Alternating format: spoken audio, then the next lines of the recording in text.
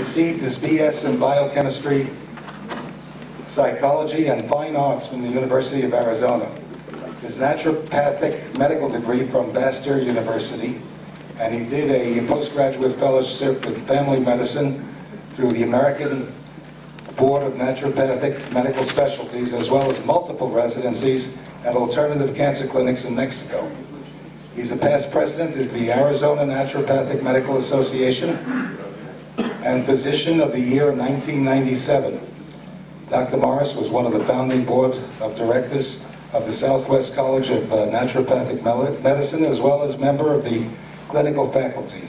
He's the developer of the Resonant Sound Therapy and is currently writing a book on this topic, as well as developing a clinical training programs he tends to take worldwide. Before I are you uh, giving out any papers to get the book or something like that? Did you say you had? Yeah, I'll, I'll say. Okay, you could tell. I give you Dr. Lance.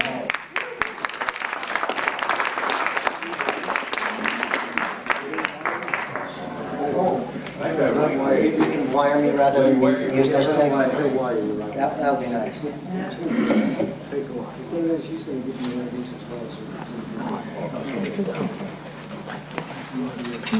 You want a pen?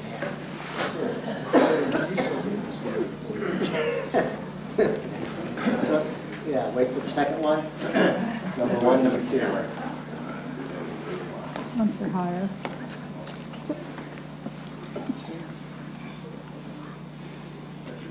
Okay. So everyone can hear me? Yeah. All right, good. Um, and so, you know, in, in my universe, there are no accidents, no coincidences. And so the previous speakers, um, you know, are relevant to me because I think there's a natural segue. And I'm curious, how many people in this room, if they'll be honest, still smoke? Anybody at all? Anybody? How many people used to smoke? So, and so, you know, it's interesting. Let, let me, let me share um, a, a, little story with you to start. um, the resonant sound therapy work that I've been developing um, really goes back about 40 years. And 40 years ago, I was introduced into this energy stream that was very, very powerful. It was too powerful, it was frightening. Um, and in this energy stream, I was aware that um, there was an ability coming through my body to heal people, things. And I was given a choice, and the choice was to embrace love or power. And with every fiber of my being, I embraced love. And in doing that, about 40 years ago, I thought that I was saying no to this very powerful energy stream. Well, about two years ago, this energy came back into my life in a very tangible way. And this time, I was given a very, very clear message. And the message was that I had misunderstood 40 years ago, but that I wasn't ready 40 years ago. And I am now. And so, for about two years, I've been developing this in a therapeutic context. And as I've been doing this, one of the things that's been very interesting is that I've come to recognize that it has a very deep shamanic component to it, that it has an American Indian component to it when I let that happen. And um, you are the first audience that I am formally presenting this information to. I've presented this to colleagues. Um, I have a short paper that I put out there. If any of you are familiar with Townsend newsletter, um, I submitted an article to them, which it's 18 pages, so it's like it's too big for them. I don't know what they're going to do with it. Um, but it's an excerpt from a book that I've almost finished. And on the table over there is a blue handout that kind of gives you just a few little highlights from the book. And I invite any of you, if you find this interesting um, before the evening is through, there's a sign up sheet. And if you give me your email address, when the ebook is ready, then I will email everyone and say you can order it as an ebook before it goes to hard copy publishing, which I'm really fascinated with this concept of ebooks. Has anybody ordered an ebook ever? Cool. So you're a little more enlightened uh, group than, than usual. but it's, you know, maybe there's something to this. Maybe we should do things to reduce our use of paper on this planet. What a novel idea. Ebooks. Maybe books, hard copy books, are going to be passe, maybe in our lifetime. That would be an interesting phenomenon. Um, so I want to share this, this little story, though, at the beginning here about tobacco. and hopefully, this is something you can share to anyone that you know that still smokes. before the white men came to the New World, before they came to the Americas, native shaman and Indian medicine men all over the Americas had the same vision. The same vision. They saw the coming of the white man. With the coming of the white man, they saw the destruction of their way of life. They saw their children murdered, their women raped, their culture virtually decimated. So they called powwow. They called the sacred circle and they came together. And in this sacred circle, they asked Mother Earth and Father Sky, what are we to do? They asked the spirits of all of the animals and all the plants, what are we to do? And there was a universal consensus. The consensus was someone has to kill the white man. Someone has to kill him. So the shamans asked the spirits of all of the plants, Who among you will help us? And the plant said, Not I. We will not help you. And they asked the spirit of all of the animals, Who among you will help us? And the animals said, Not I. They asked Mother Earth and Father Sky, and there was silence. And the medicine men wept. But then from the back, from the very back of the medicine circle, tobacco stood up.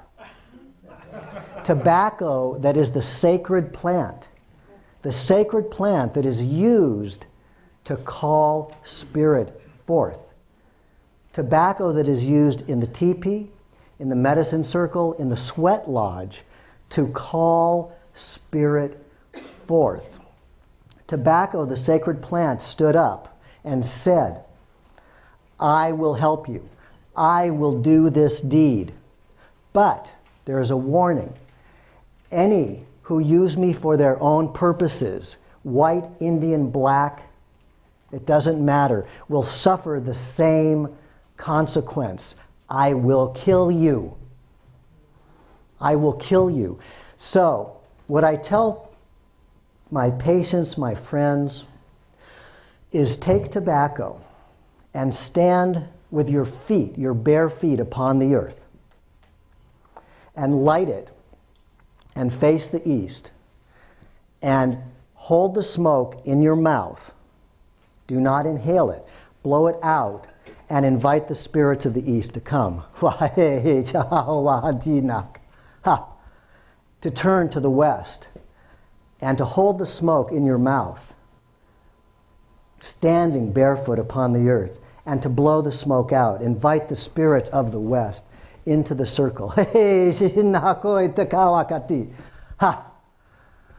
Ha! From the north, from the south, Mother Earth, Father Sky, to come, to come into the circle here with us, to call spirit to call spirit. That if we use tobacco in this sacred way, if we remember and we invite all of our fellow humans to do this process, we will stop trying to use tobacco for our own purposes. You see, part of what I've discovered through my RST work, resonant sound therapy, is that the human body is a conduit. It is a conduit for spirit. It is a conduit for chi. What this gentleman shared about finding, you know, the, the energy. It's like, it's, yeah, it, it's, it's that part of the piece. is a critical, critical piece. You know, pure food in, detox, and then finding the energy to get the stream, the flow, the chi, the spirit, ha, to start to move again. So, um, if we invite our friends and family and neighbors to use tobacco in this way, eh, um, we'll stop abusing it. The, the spirit that the tobacco brings cannot be held in the body. That's the reason it harms us. It brings spirit. It actually brings spirit into the physical dimension. Tobacco brings spirit. So if we hold it in the physical body, we're trapping it. Our body is a conduit. The spirit, the chi, is meant to flow through. It's not to be held, it has to flow through. And so with this work, what, what I'm engaging is a process that I define as healing as differentiated from curing. Very, very important differentiation. Healing is allowing that which is to be. Curing is man's attempt to interfere with nature's process. And we can do it with technology up to a point.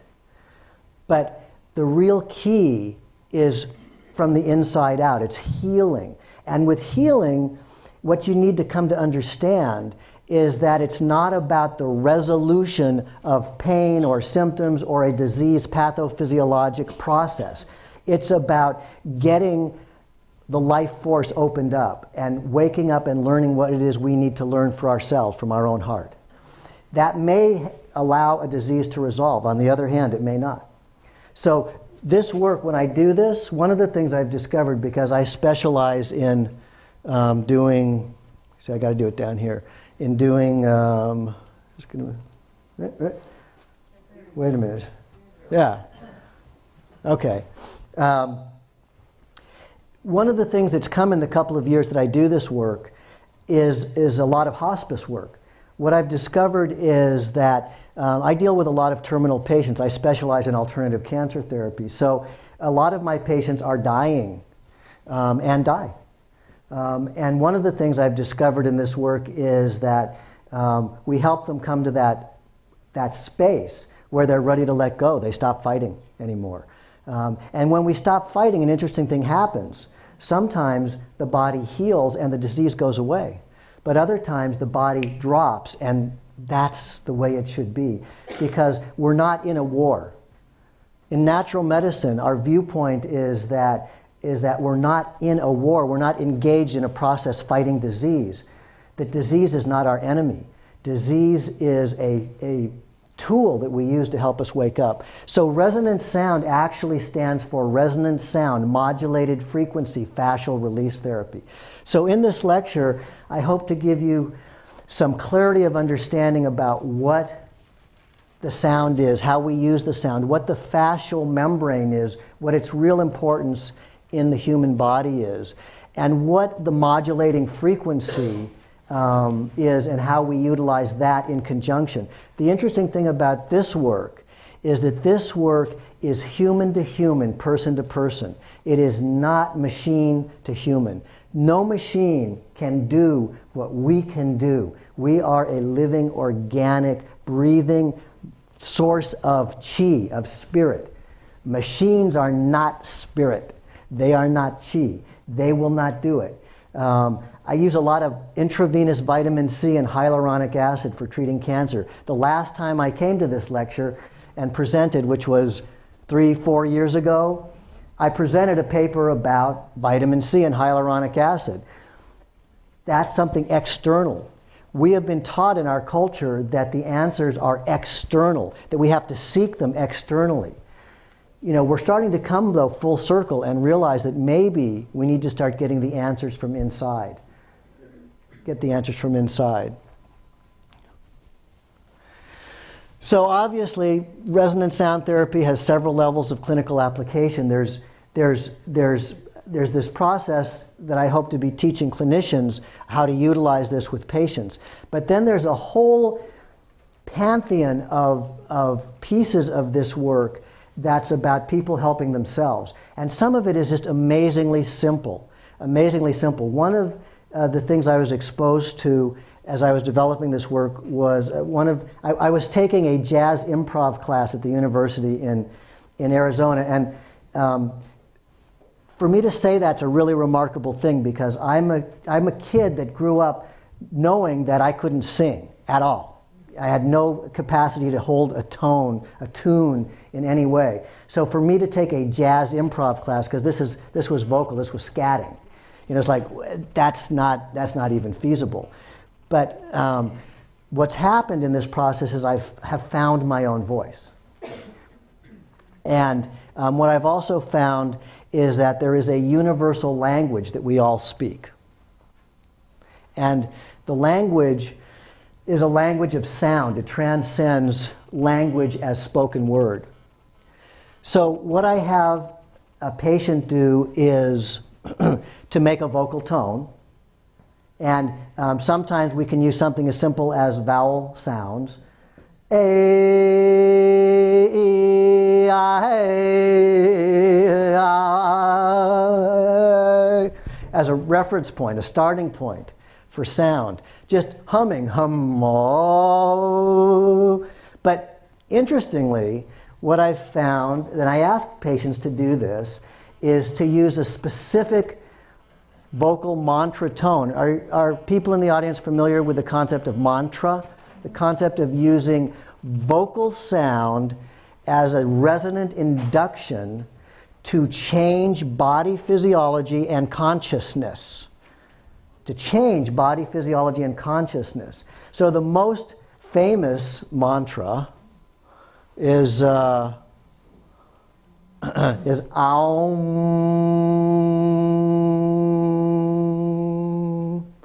in Western culture, right? I mean, we've all heard that. O M A U M. What did I do? I went the wrong way? Uh, uh, I did. Um, okay. so the sound, though, that I, I usually ask people to engage is, is a mantra that comes to us from traditions of the Druids um, in Ireland and England. It comes to us from Buddhist traditions. And in more recent historical times, it comes to us from the teaching, a teaching called Eckankar. Anyone heard of Eckankar?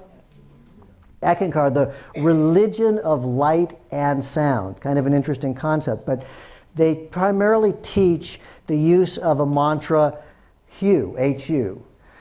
So HU is the building block from which all other sounds are derived. So HU.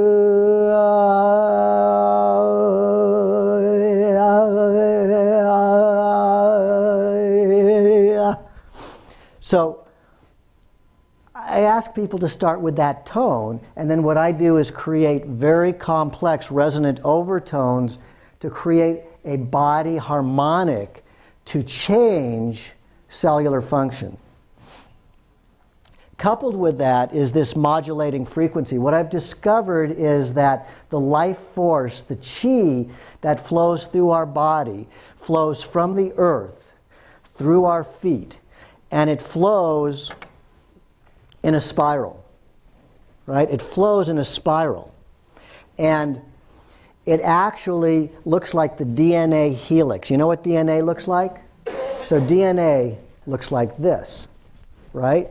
It looks like this. It's a double helix, double helix, double helix, double helix. So it's flowing up from our feet through our acupuncture meridians, through the chakras, out the top of our head, and then back down through the spiral. It's a continuous flow. And practices like Tai Chi and Qigong and any of the martial arts are basically forms ha, to let this energy flow through us.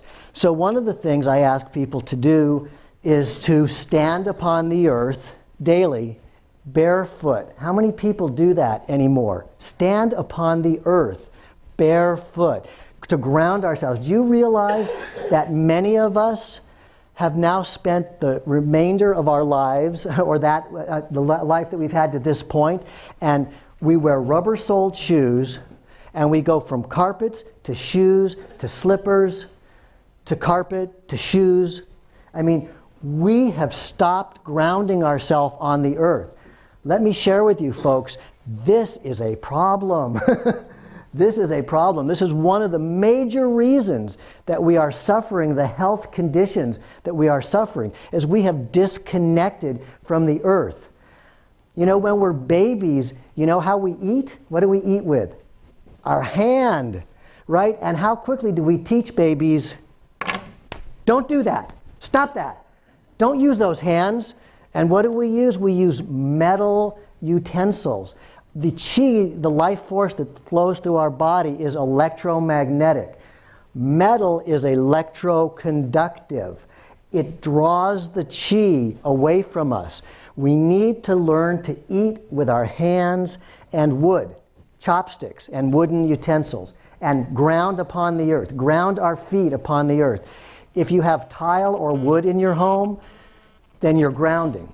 But if you have carpet or concrete or um, linoleum or some other stuff, you're not. so, this quality of this chi, as I said, having the spiral characteristic, imagine the DNA molecule, but it's light.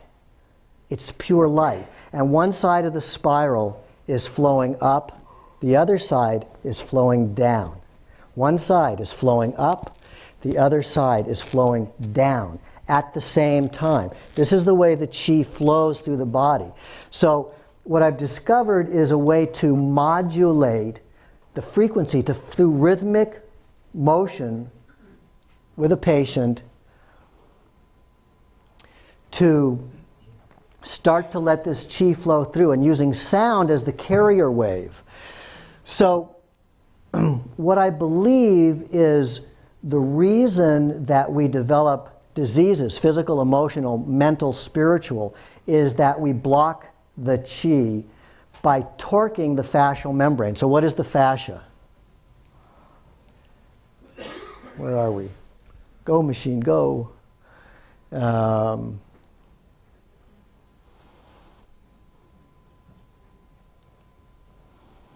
Okay.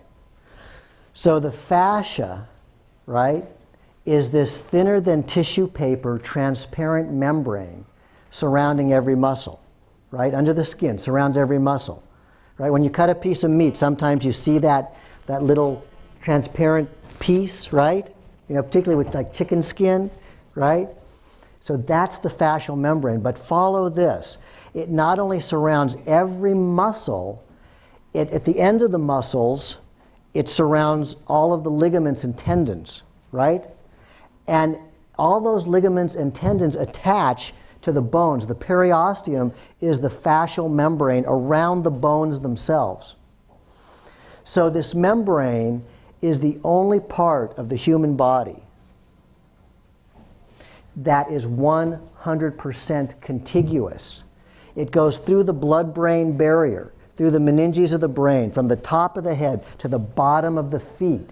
The only part of the human body that is 100% contiguous. So, how important is it?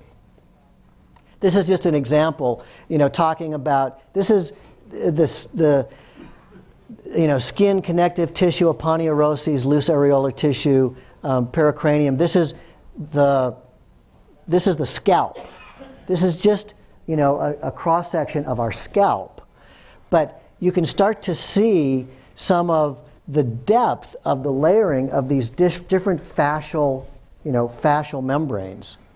Um, so, how important is the fascia? Well, my contention is that the fascia really needs to be thought of as an organ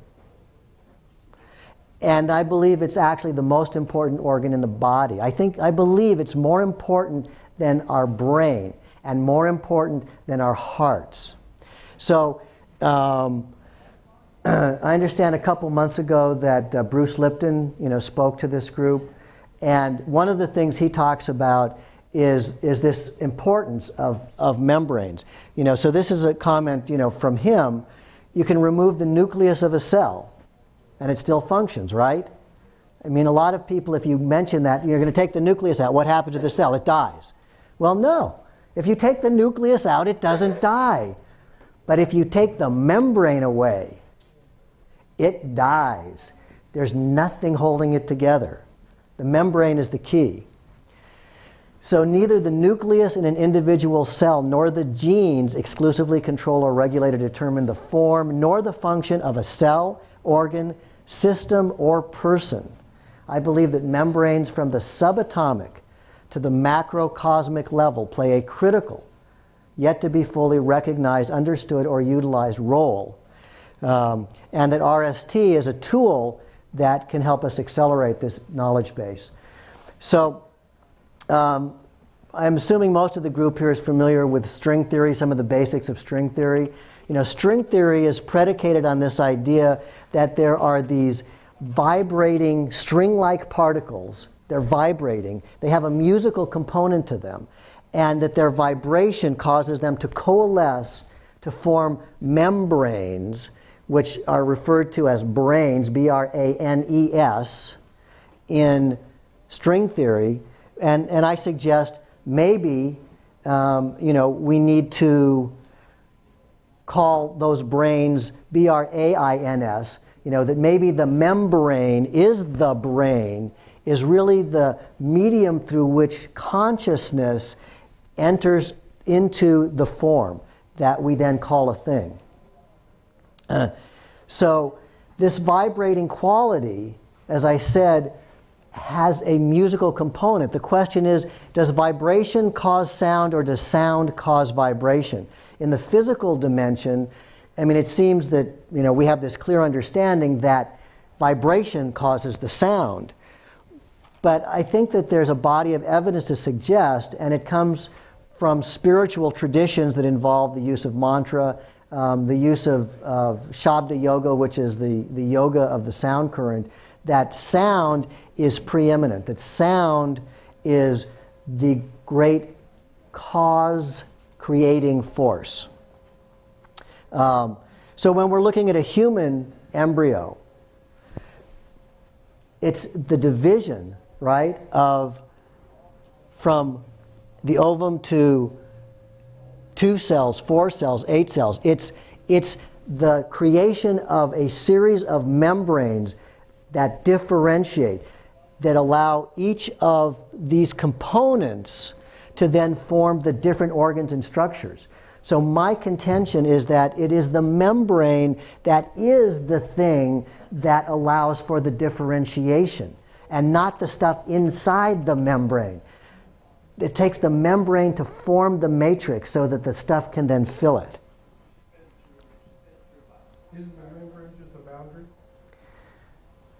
Yes, it is. It's the, and without that boundary, you cannot compartmentalize. You cannot differentiate the heart from the lung.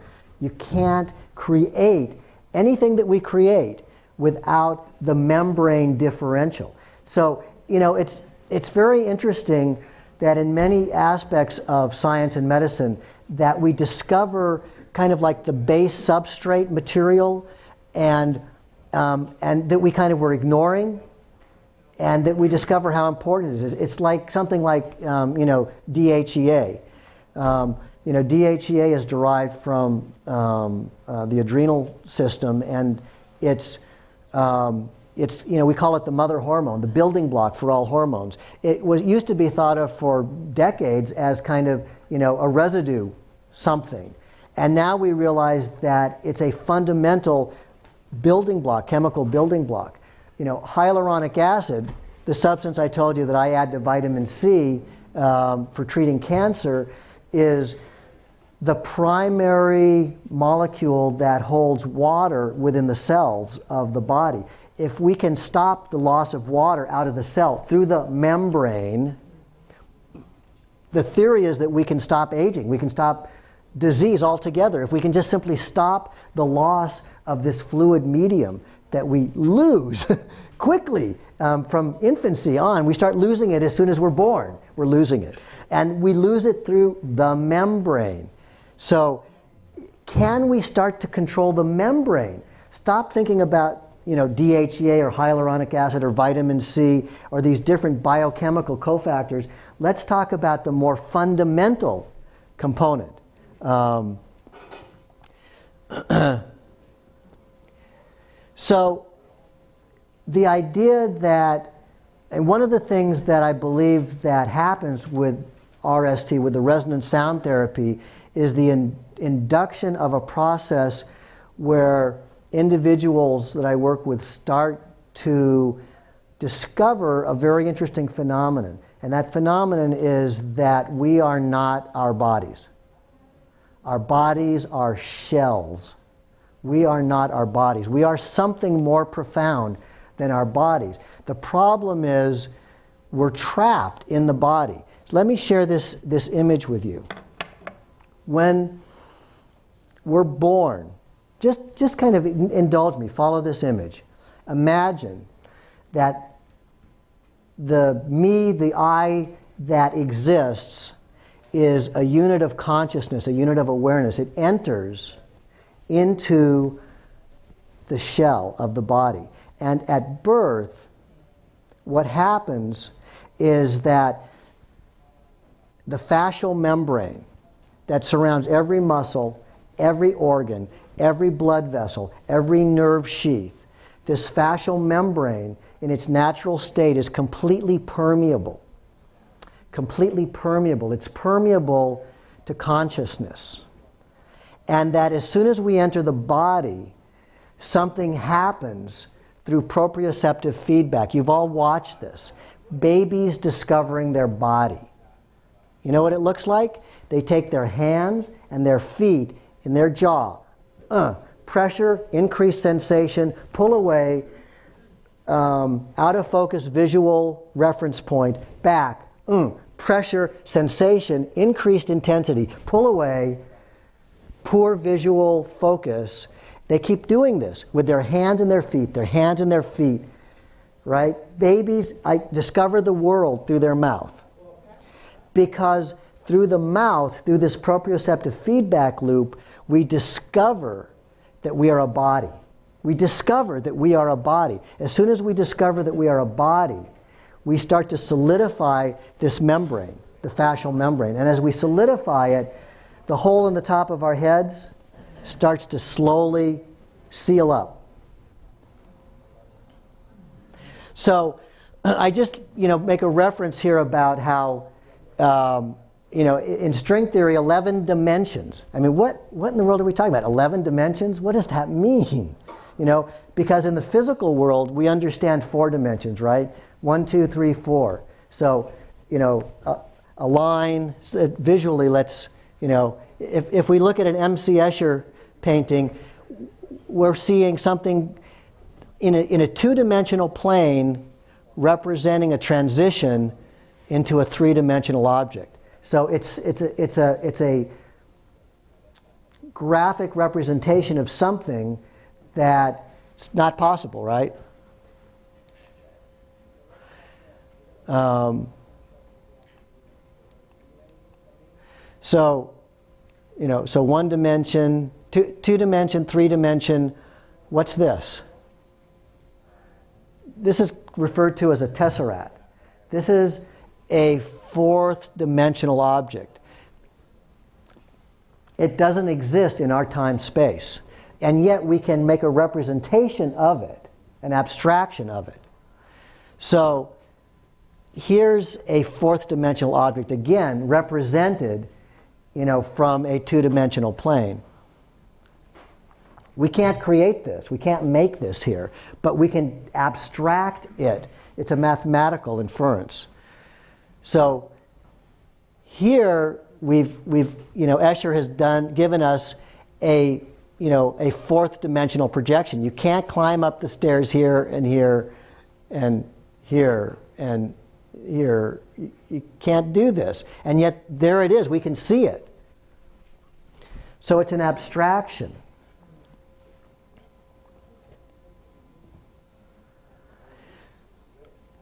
So, what I believe is that with the resonance sound therapy, the question is, you know, what I'm suggesting is, is very speculative in nature. But what I'm also suggesting is there is a way to definitively codify and verify the existence of more than four dimensions um, from an experiential framework. And that as we do this, as we start to wake up the fascial membrane and make it permeable again, that the chi flows unrestricted and the body can start to heal itself. Does healing itself mean that the disease symptoms will go away? No. What I've suggested to you is that the disease symptoms may not go away. Um, and that the work that I do is not about making it go away. It's about helping people wake up into whatever their needs really are. Um, so I've already suggested that, that, the, that the sound is the thing causing the vibration rather than the other way around.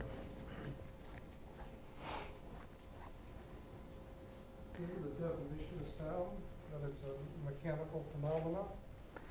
In the physical dimension as we understand it, placed in, in, in the framework, you know, that only includes four dimensions, yes. in three space or four Yeah.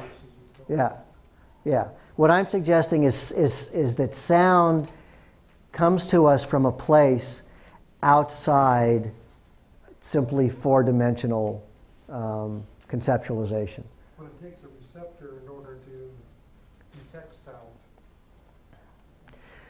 uh, in that's physically audible. So one of the premises of the use of mantra is that a vocal resonant sound becomes a, a vector for the connection into a non-audible but perceivable sound nonetheless.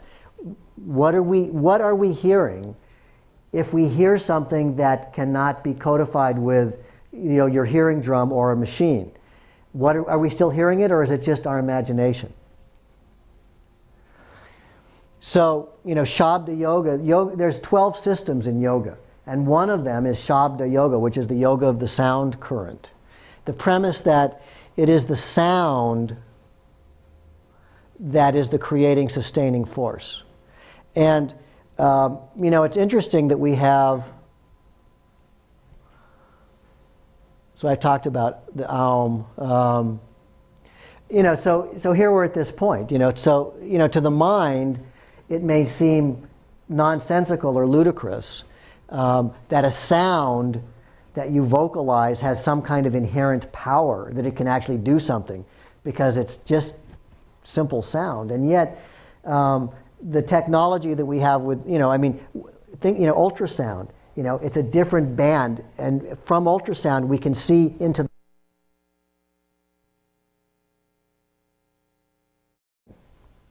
If the key is the membrane, the thing that forms the membrane is the sound. So it's the sound that creates the space for something to exist within.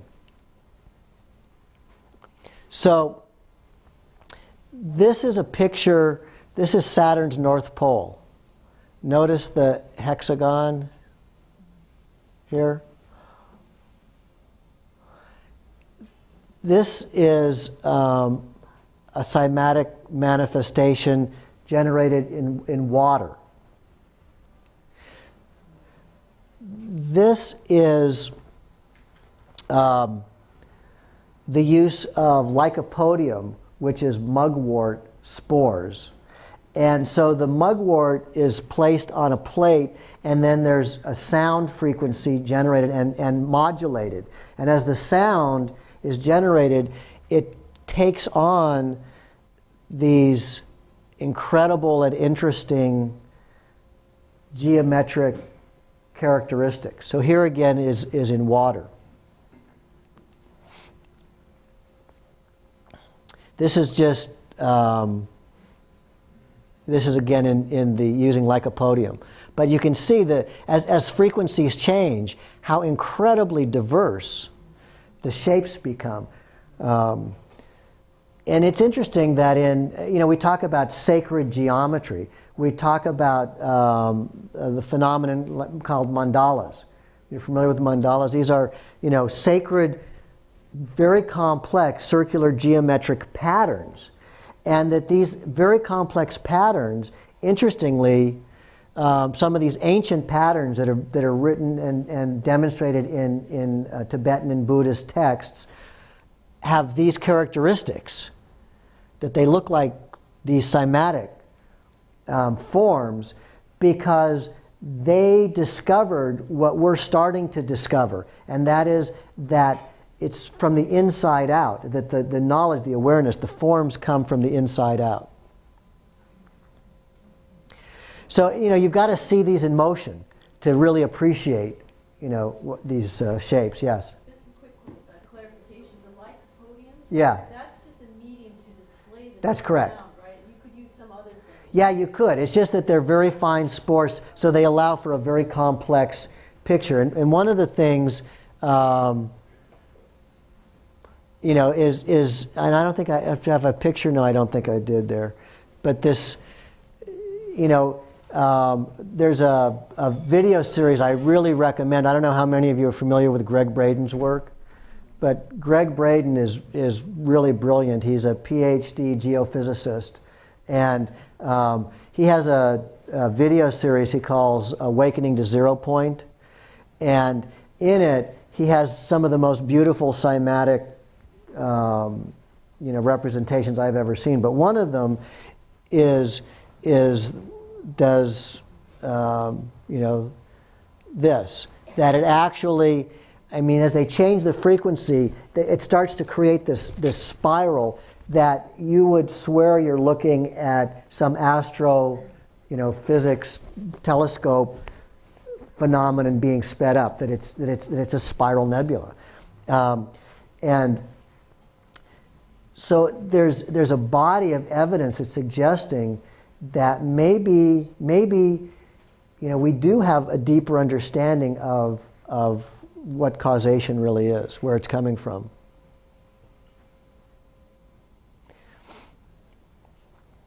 The idea that you know the macrocosm and the microcosm are mirror, mirror images of each other. You know that is. Um, I remember when I was a, a you know little kid, there was a black and white um, uh, movie that they I think they showed. You know, many of you may have seen it. You know, called The Power of Ten. Any of you familiar with that? The Power of Ten. You know, a, a couple on the beach in in New York, um, and they they come they come away from them by a factor of ten, and they keep backing off, backing off until they go out into deep into the universe. And what, as they go deeper and deeper into the universe, what we have is larger and larger zones of nothing. Big zones of emptiness, then something. Big, big zones of emptiness, then something. Bigger, bigger zones of emptiness, then something. And then they come back brrr, to the beach, and now they go through the skin, and they do the same thing, tuk, tuk, tuk, factors of 10. And what they show is first there's something, and then there's a zone of emptiness. Then there's something, and then there's a bigger zone of emptiness. And then there's something again. And they go by the same number of factors of 10 out into the universe as they do into the subatomic particles. The microcosm and the macrocosm are mirror images of each other. And that physical matter is mostly what? Empty space. Right? Physical matter is mostly empty space. We've been taught, we believe that this dimension, this space, is the most real thing there is. The most real thing there is. But if any of you study modern quantum physics, string theory, it seems that matter is not the most real thing that there is. It's just kind of our experiential framework, you know, that we're drawing on. Uh, okay, back up. So, whoop. So, how many of you are familiar with um, Dr. Mandelbrot's work? Um, so, Dr. Mandelbrot is a, a mathematician who identified a, a mathematical formula of binomials that essentially identifies, from a purely abstract mathematical perspective, the point at which chaos crosses the membrane into organization. Chaos into organization. and out of it, um, comes uh, what are referred to as fractal patterns.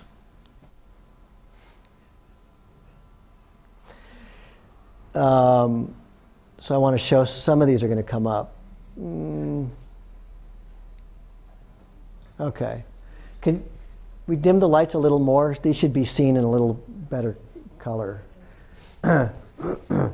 so, so this is a fractal. And in the center of the fractal is what's called the Mandelbrot set. Um, so there's the Mandelbrot set. So you can see at the edges that these fractal patterns start to form. And what it is, is that it's a sequencing of these Mandelbrots going off into infinity. So what, what I'm about to show you, and again, if this was a moving picture, you, you, you know, it's just, it's amazing when these are moving. Um, but it's a series of stills, but it's a projection, still to still to still, going deeper into the transition of the set. So that's the edge of that membrane. You can see how it's forming all these baby Mandelbrots, right? And then there's the Mandelbrots that were on the edge there that have now branched further and further, deeper and deeper.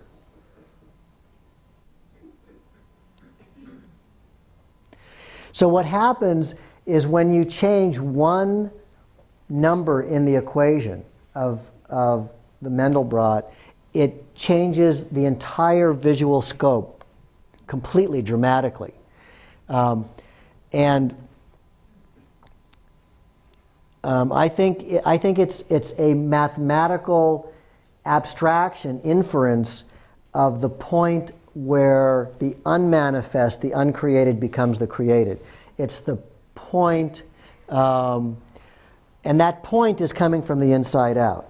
It's not, it's not coming from an external space, it's coming from an inside space.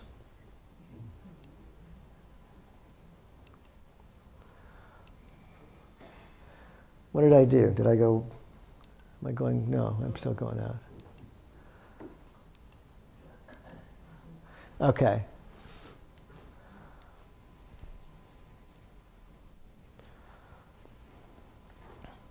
So, yeah.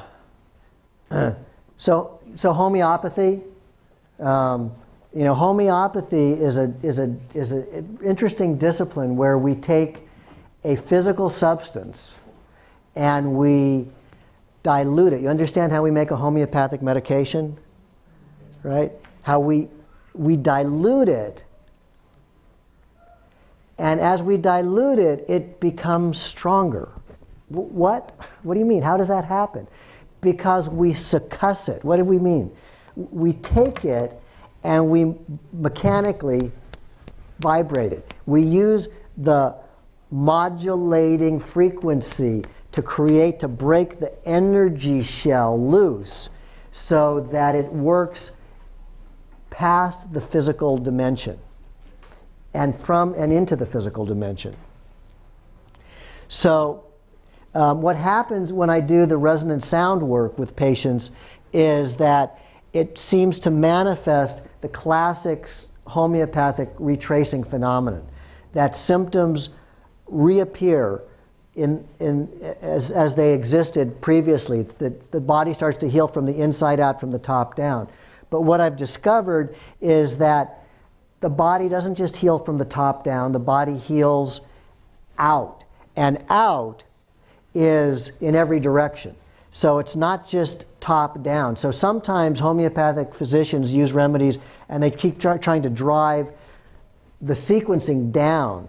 But what I've discovered is that we need to stop trying to drive the sequence down. We need to simply allow it to drive out from the inner core.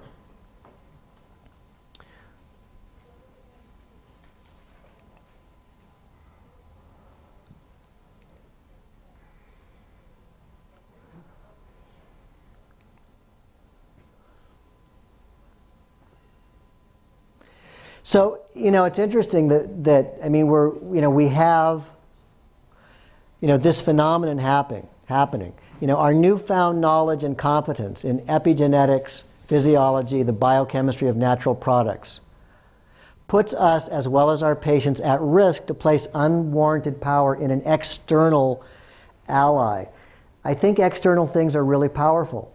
And I think that there's a focus, and I suspect that this group is prone to do this, is there's a lot of excitement about you know, the new external something, whether it's a new external biochemical thing, herbal thing, energy machine, something that's external.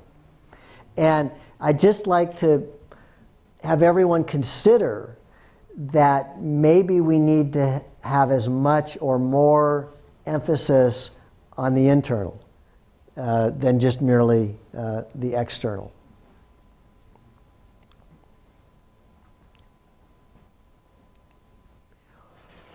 So this is, you know, where I shared about, you know, this phenomenon as, you know, how we kind of discover that we're a body. So here is an adult skull.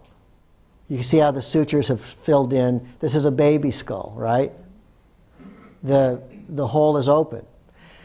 So my contention is the reason that this hole closes is because we start to bind the fascia. We start to wind it up, and it pulls, and these sutures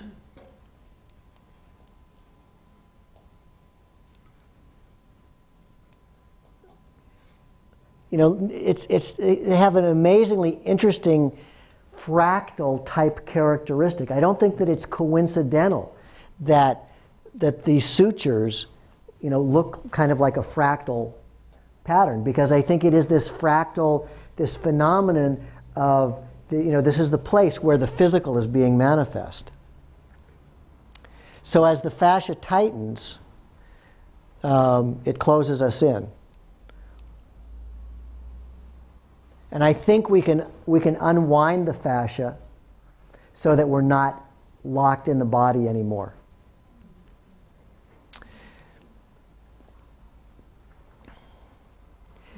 Um, so, you know, it's an interesting question, um, you know, very controversial today, right? About, you know, when does life start?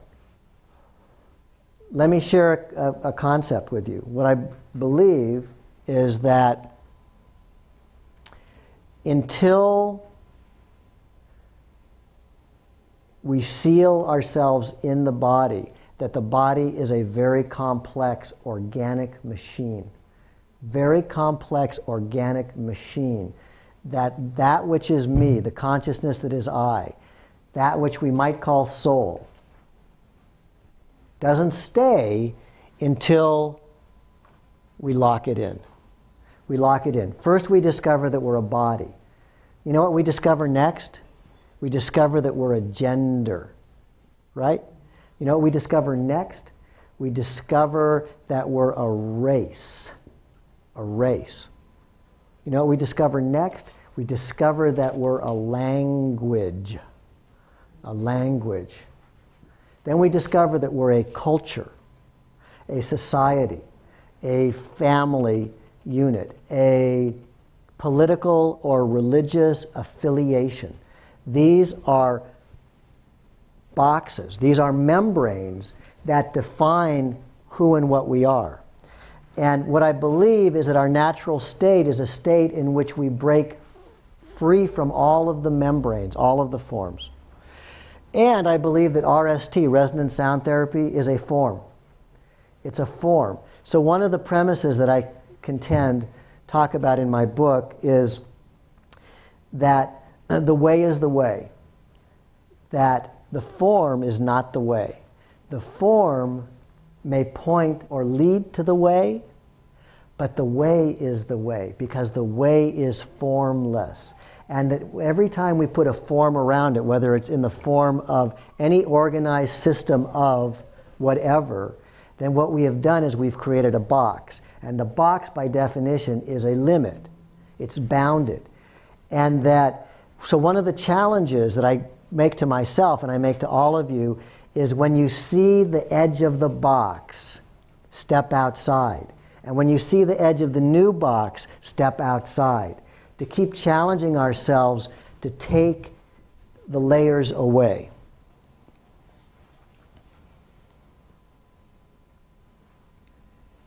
Um,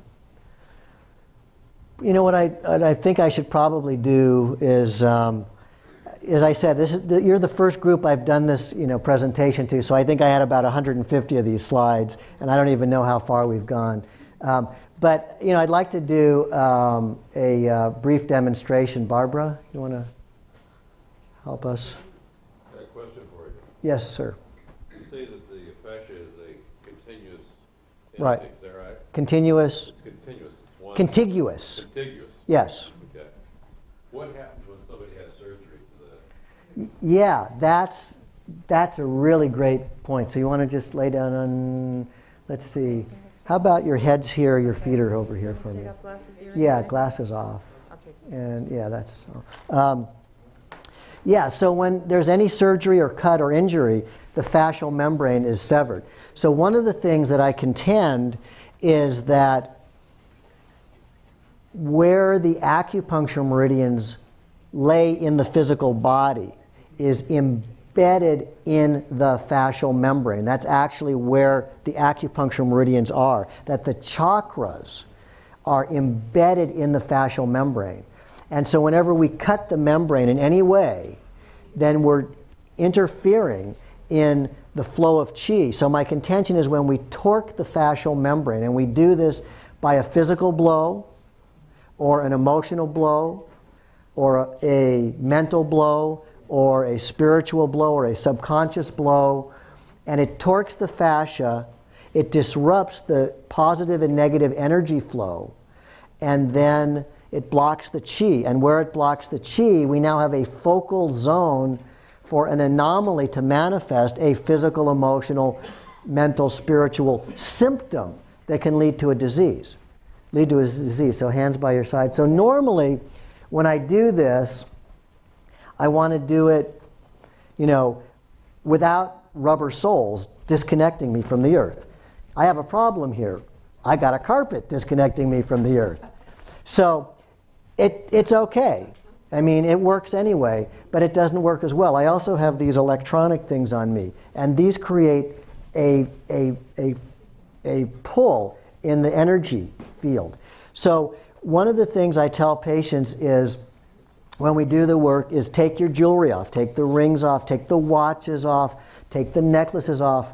How many of you go to bed with a ring or necklace around your neck or finger and wear it 24 7? 24 7. Wow. Please, please, please don't do that. Please take it off when you go to bed. You can wear your wedding band all day. Just take it off when you go to bed because otherwise you create this focal vortex that disrupts the chi at that point. So, so usually what I like to do is start, you know, in the abdomen. And what I'm going to ask Barbara to do for me is just make this simple tone. I'm going to give it to you. And, and I want you to continue making this tone.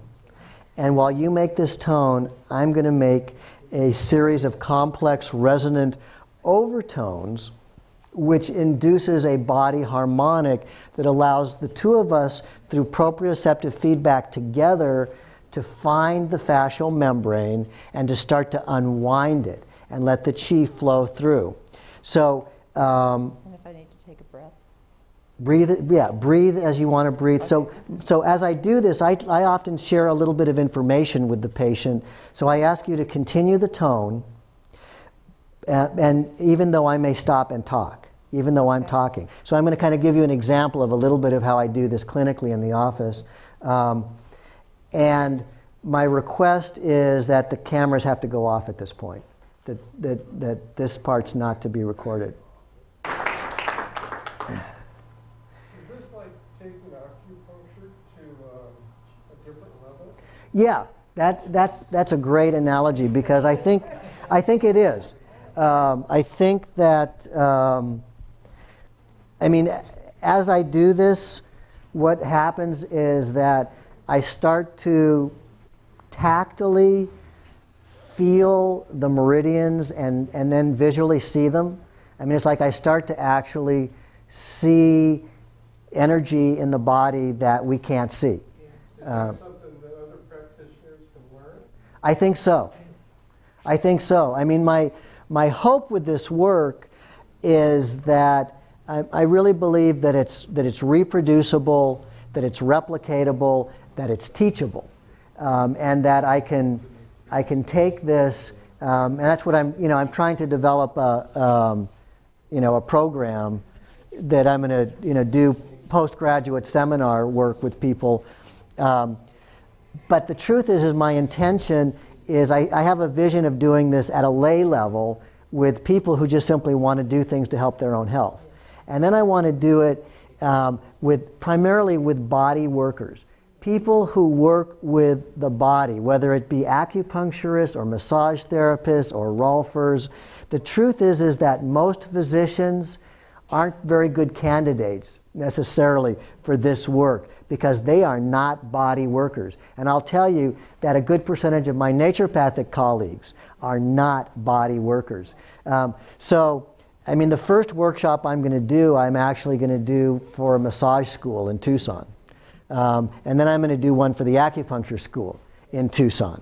Um, and, um, but, you know, my intention is to kind of open the doors for uh, anybody because the truth is, is that we all have this inherent ability and capacity to open ourselves to this energy stream to help ourselves and to help each other. Now, if somebody were to study acupuncture, Yeah, um, learn that there are X number of conditions that you can try to treat. hmm Now, if you try to treat with your technique any of those, do you find that you're getting greater success, same success, no success? So, so what's been, so first of all, if you're not aware, acupuncture is a cohesive system of medicine that can be used to treat anything, anything without limit of any kind. Um, it's not just used for musculoskeletal problems or nerve injury. It's used for any physical, emotional, mental condition that there is. Um, it's about opening chi. And so this is a system about opening chi. And, um, you know, from a didactic standpoint, I mean, I can take people and we could spend, um, you know, months learning the acupuncture meridians and all the points and all the muscles and all the nerves and all the things that physicians learn. And I have no interest in doing that because what I understand from my own experience is that this work is, I mean, how did the first people discover the acupuncture meridians? How did they discover them? I'll tell you, you know how? From the inside out. They intuited, they simply trusted and started to find and feel and utilize. How did we first discover the use of healing plants? How? Who discovered it? How did they discover it? Some of the anthropological literature suggests that, well, they ate stuff and experimented. Well, let me tell you, that's wrong. That is the way people who are disconnected from their hearts and nature and Mother Earth are doing it and playing with it. But our more primal fundamental selves started to understand how to use plants by communicating with them and the plants communicating back. Let me, let me, let me share a couple of little, just a couple tidbits, you know, from my book that I think are, are rather dramatic and, and a really different angle. And I really want you to, you know, kind of use it as a, maybe a contemplation seed and see where you go with it. So get this image. Humans, in the human state of consciousness, are the lowest life form on the planet. The lowest life form on the planet. Why do I say that? Well, let me give you this definition. The capacity of the organism to live in harmony with itself, its own species, and all other organisms on the planet. Based on that criteria, insects are a higher life form than humans. You with me? Based on that criteria. We're not talking about individual humans. We're not talking about humans that may be more enlightened or that are enlightened. We're talking about humans in the human state of consciousness as they function on planet Earth today in modern times. Based on that criteria, insects are a higher life form. So, based on that criteria, animals, higher life form. Based on that criteria, plants are a much higher life form. The capacity to live in harmony with themselves, their own species, and all other organisms on the planet. Wow, plants, they've got it down. And where do they go to get what they need? Boom, right where they are. From Mother Earth, Father Sky, right where they are. They need go nowhere. They need seek nothing because they know what they need is right where they are. Well, this is a spiritual premise that is taught in all of the spiritual traditions that we live in this moment, that there is no past, the past is only a memory. There is no future. The future is only a projection of a possibility. We live in this moment. And in this moment, there is no disease. In this moment, there is no pain, suffering. The only way we create those things because I contend we are the co creators. The way we create those things is we take an image coupled with an emotional charge, and we keep playing that image. So, one of the things when I do this work with patients is that images come up. You know, when I'm working on a frozen shoulder or a twisted neck or, you know, um, an ulcerative, you know, belly, images come up, memories come up, right? And so, what I say is this, and this is an exercise I want to give all of you. Consider this exercise. Take your life, play it from your birth forward, like a movie screen. And as you play it forward, as you play it forward, look for any images that have an emotional hook. An emotional hook. That is anger, sadness, fear, right? An emotional hook and where those images come up, freeze frame it, and then loop it. Take that one piece of the picture of your life and loop it. And as you loop it, as you loop it, remember this fact. The image that you are projecting in your own mind's eye, that you are projecting from your own consciousness or your own subconscious, the image that you are creating is a memory or a projection. What did I just say? We live in this moment. There is no past. The past is only a memory. There is no future. The future is a projection of a possibility.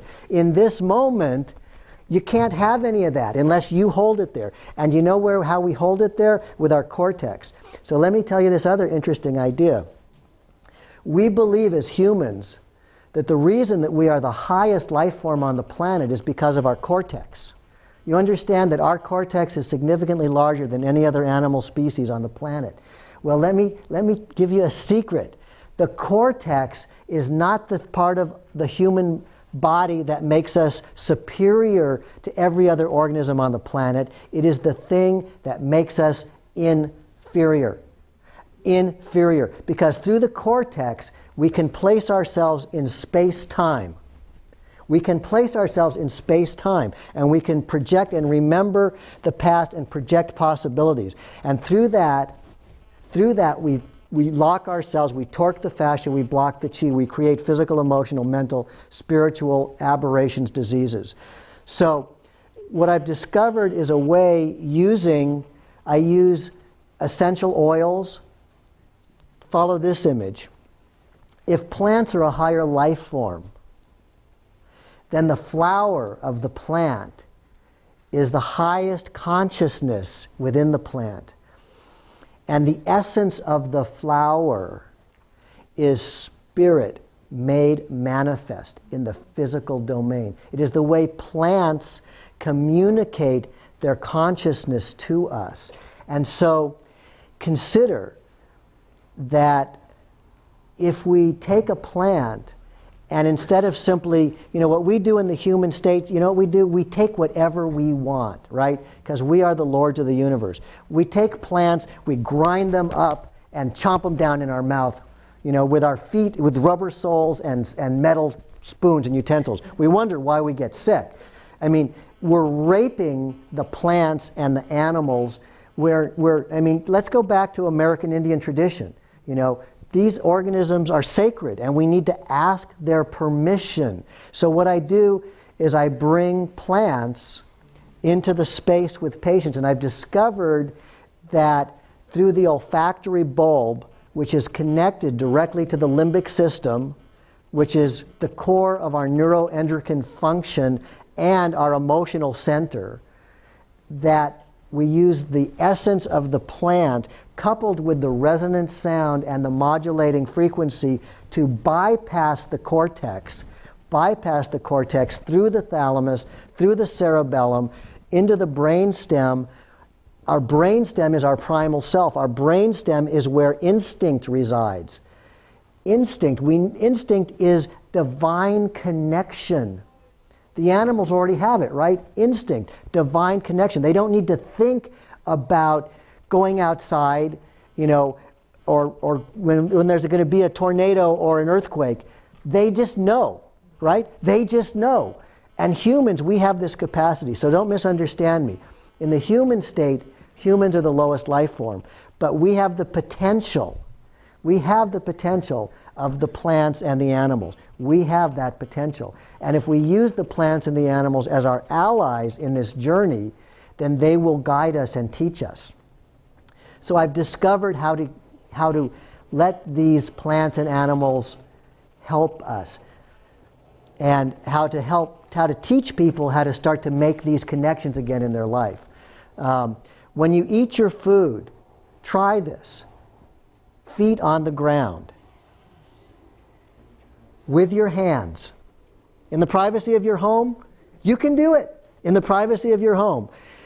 Turn every bite into liquid, every bite. And as you chew and feel the fibers breaking apart, express the gratitude to the plant or the animal for surrendering its life force for your existence. It's a gift that it's giving us to sustain us.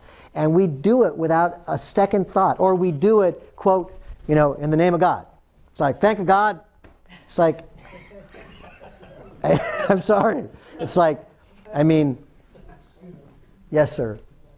I have an idea, if I go to an internist, why I'm going there. Yeah. But why would somebody want to try your therapy? What type of symptoms? virtually anything. So, so, so let me just share a couple of, of little brief case histories. Um, before I started doing this work, I would have told you as a physician that there is an absolute glass ceiling, that there are certain medical conditions or stages of pathology which are irreversible, barring divine intervention. Barring divine intervention. There are certain levels of pathology, that's it. Well, since I've been doing this work, I can no longer tell you where the glass ceiling is. I can't tell you. I have um, a woman um, that with osteonecrosis. Um, this is, you know, a condition where we don't know. Nobody knows why the bones are destroying themselves, but they're basically destroying themselves. And, um, uh, and what the allopathic uh, medicine offers is gradual replacement of the knees, the hips, the shoulders, the elbows, whatever, gradual replacement until they can't replace anything anymore because it's just too much. So, and it's irreversible. So I have a patient, I did three treatments, came to me from uh, back east. We did three sessions of RST. She went back to Harvard Medical um, School where they diagnosed her and told her she was incurable, and they said she doesn't have it anymore. I mean, I, I don't know what that is. I mean, when I do this work, it's not about curing or reversing disease, it's about letting the chi flow through. I have a gentleman with advanced cerebral palsy. Have any of you people seen a cerebral palsy patient? They, they do this, their bodies deform, and it's the bones. The bones actually are deformed, and they can't, I mean, they're frozen in their body. It's, it's a horrible disease, horrible disease. So, um, this gentleman that I've been working with, um, for the first time in his life, he's, um, you know, when we're working in a session, we've been able to get his body actually completely straight, laying on the table, back flat, arms flat, and it is not physically possible. It's not physically possible because the bones are deformed. What's amazing about this gentleman is when I leave, it's like it c- comes back. You know, I was, I was talking with Mike about, about this because he's, he's got a, you know, a, a little problem that's been there for 10 years. And he said, Lance, you know, if we do this, is, what's, what's it going to take to get rid of this? And I said, well, all it takes is one treatment for anything. All it takes is one treatment. There's only one catch. And the catch is, is that, that I can get the body to recognize that the chi is flowing unrestricted and open up all the pathways and all the chakras and all the meridians.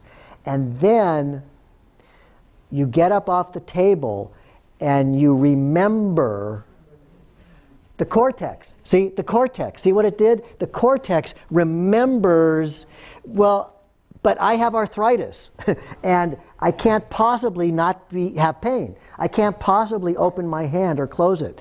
So, because of that memory, it's called an engram. We basically lock ourselves into the old pattern. And you say, well, yeah, but I didn't do it. You know, it's like I, I'm a victim of it. Not in, not in the universe that I practice in. No, we're not victims of anything. None of us. Not a victim of anything at all. We are the creators. And we create what we create. And we create these engrams. And the amazing thing is that we can, we can back out of it. We can unwind it. It's, um, I have a woman who is um, spinal cord injury. She's been paralyzed for 25 years. And um, for the first time in 25 years, she's demonstrating um, a small amount of um, control of you know hands and extremities. I mean, she can actually you can you know you can you can get her to respond, to have physical motion, spinal cord injury, and for the first time in 25 years, she's talking in short sentences. She has been completely incapable of talking for 25 years. So I don't know where the ceiling is. I don't know what's possible. And, and we're not trying to reverse something. I'm not doing this thinking, okay, now you're going to talk now, or you're going to all of a sudden be able to walk. What I'm doing is recognizing this fact. We live in this moment. There is no past, there is no future. In this moment, perfect blueprint. Are you with me? Perfect blueprint. Superimpose it on the physical, superimpose it on the emotional, superimpose it on the mental, the subconscious. Superimpose it because that's what is. That's what is. And everything else is our own illusion, our own delusion that we've created. Um, I was coming here with Mike this evening, and we were in the car with a friend talking about. Um, um, you know, some of the earth changes, you know, that are being proposed. And, and I suggested, I suggested this interesting concept. We are the co-creators. We create by taking an image and coupling it with an emotional charge. Why would any of us ever look in the mirror for ourselves or for anyone else and see a negative image with a negative emotional content? Why do we do that as humans? Do you, you get me? Why do we do that? That's crazy.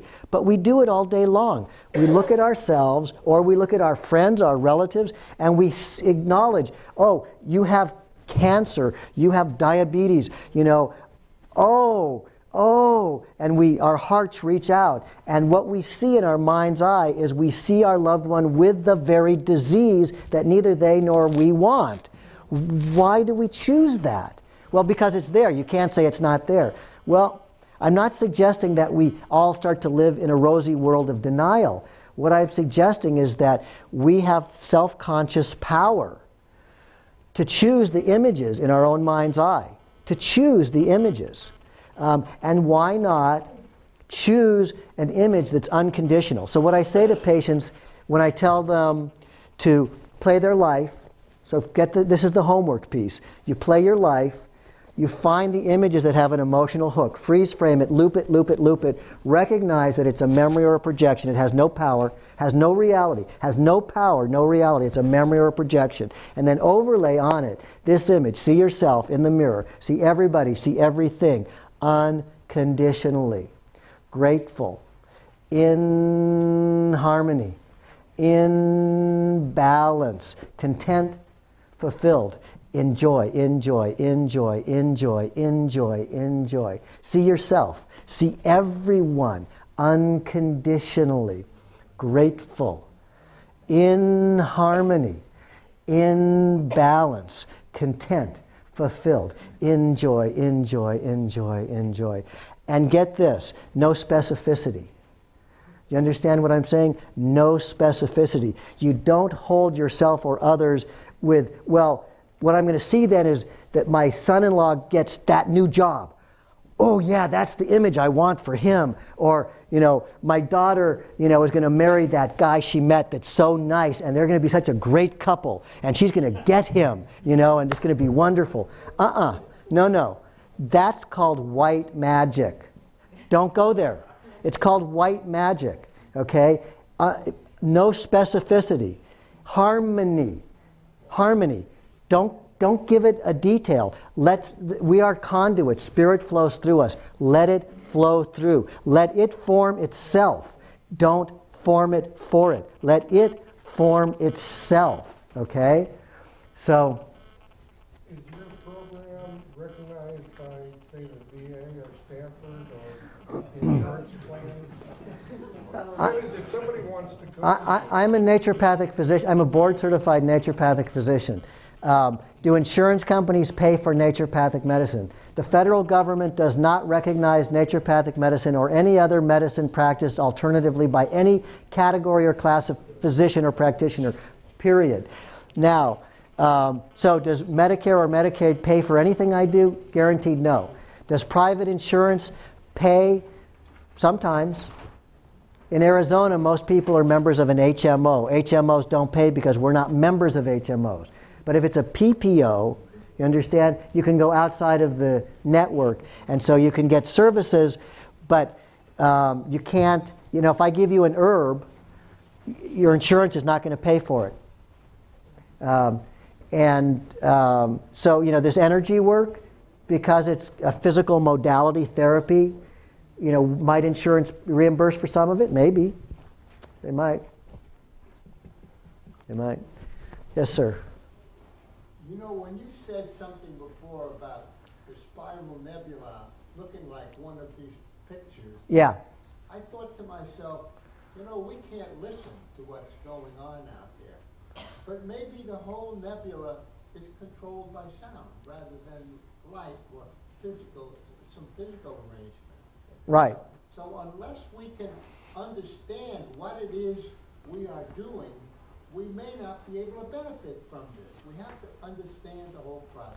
Except, let me share this, and and you know, it gets it gets tricky because what I believe is that when I say from the inside out, and the way that we get this is outside the reference of the cortex. We want so desperately to understand with our mind, and I want you to get it that the mind is a trap. The mind is a trap. We can only use it so far, and then we've got to let it go. You've got to let it go. It's like a Zen koan. Do you understand the function of a Zen koan? The sound of one hand clapping. What does your mind do with that? Nothing. Your mind can't figure it out. It can't solve it because it's not a puzzle for the mind to get. So, so um, think about this.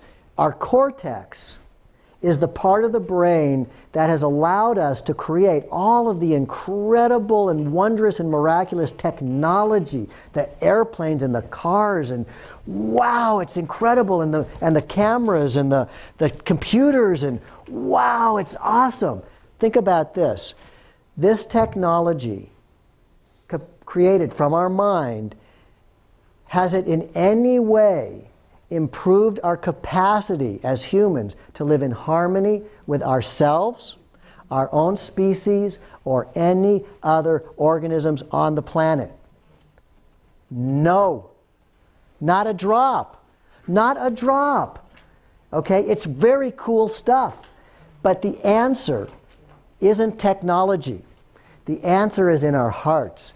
The answer is in our souls. The answer is grounding ourselves back to the earth because we are the children of Gaia. You know the concept Gaia? Our mother. She is a living planet. She is a living consciousness. We are her children. She is our creator.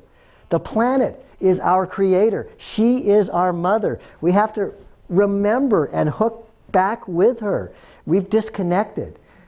You know, the way to get solve this stuff, the, the environment and pollution and health, is to just connect back to our mother. And it's not technology. So, so in, in my book, you know, I elucidate on this idea of how do we, how do we step outside the mind? How do we get it that the cortex isn't the answer? How do we get it that humans really are the lowest life form? That we put ourselves in context. See, we got it backwards. We think that it's, it's rocks, you know, it's, it's minerals, and then vegetables, and then animals, and then humans, right? That's, we were all taught this. This is the way. This is evolution, right? Backwards. It's backwards. It's no, no. Humans are the bottom, and then you've got animals. You got humans are the bottom, then you've got insects, then you've got animals, then you've got plants, and then get this kicker: gemstones. Precious gemstones, unbelievable consciousness. So, so one of the things I do clinically is I work with the plant essences and the gemstones and invite the consciousness and spirits of these illuminated beings to come and join us in the party.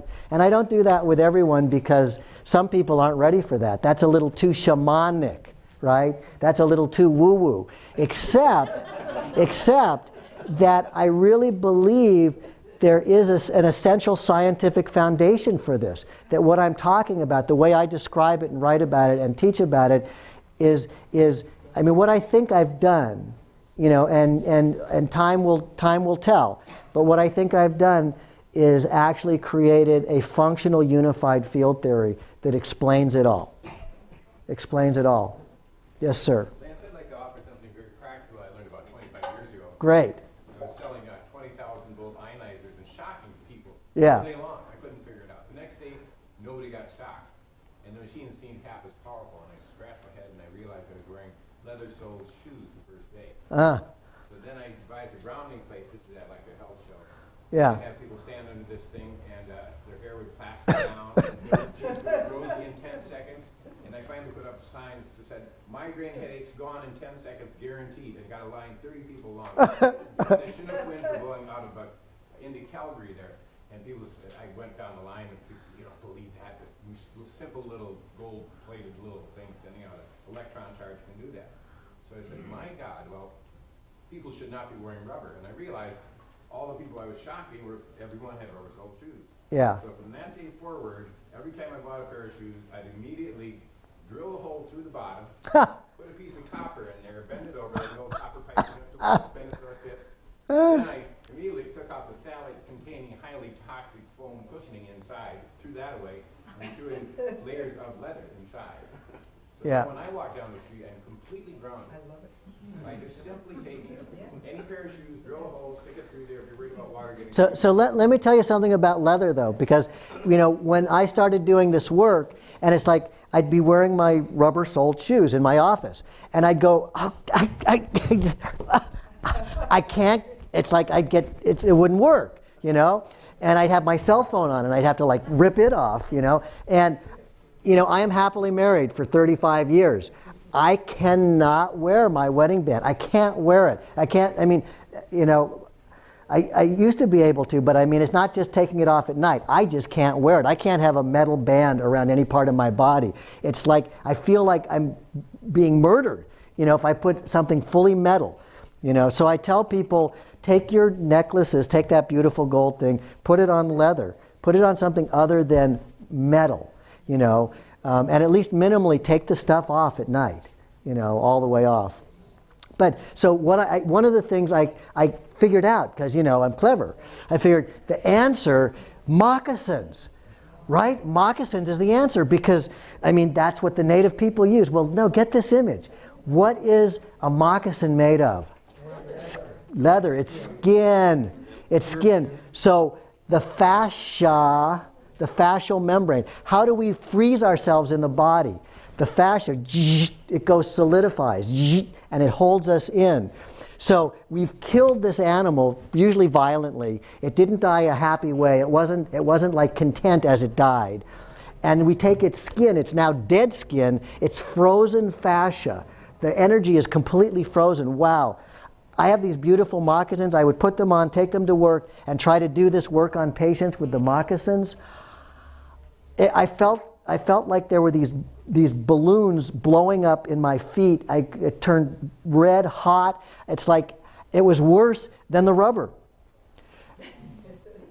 So I don't quite understand. I mean, because it, it seems like that should work. Now, maybe there's some way to treat the leather. There's some way to treat it. But when it's solid leather, all the way around the front, back, bottom, all the way, it's like a fascial sock that freezes you. I mean, it was the worst thing imaginable. Um, so, one of the things that I've discovered over the couple of years that I've been doing this more clinically is, is, is this principle. The way is the way, the form is not the way. The form can lead or point to the way, but the form is not the way. Master the form. Master the form. Utilize the form, but then release it because the form is not the way, the way is the way. RST is a form. Every clinical technique is a, is a form, and the form is only a tool. So, what I've been discovering is that the character of the form of RST over the last two years has been expanding, expanding, expanding. I used to get it that the way that chi flows is through the earth, through our feet, in a double helix, through the top of the head, through the meridians, and through the chakras, right? Well, what happens when I lay a patient down on a table horizontally? The chi isn't flowing from the earth through their feet. So, how is it flowing? It's like you know, I realized it's like, wait a minute, there's a disconnect here.